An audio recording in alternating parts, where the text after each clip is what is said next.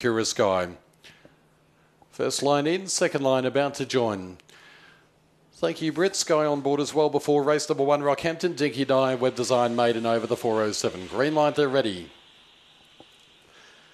And racing, Summer Weeds began only moderately. Counter proposal out wide in the city goes forward shortly after the start. Running up behind those from the Shire and rallying through is Loveless. Getting wide on the track as she's sleek. While back in the field, Secura Sky last is Starlight Swift as the favourite. Summer Weeds took control. Out by four on Counter Proposal, who was making ground. Followed by Loveless and back forward Secura Sky. All Counter Proposal went wide. Summer Weeds as well. The inside Loveless. Summer Weeds recovers and wins. Summer Weeds defeats Loveless. And third, Secura Sky, followed by Counter Proposal. Then came Starlight Swift well back in the field from the Shire within the city and Shiz Sleek last of all in a rough and tumble affair to the first.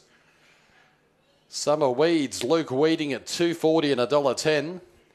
Loveless second 360, Secura Sky at 270 back in third, 145 and 9.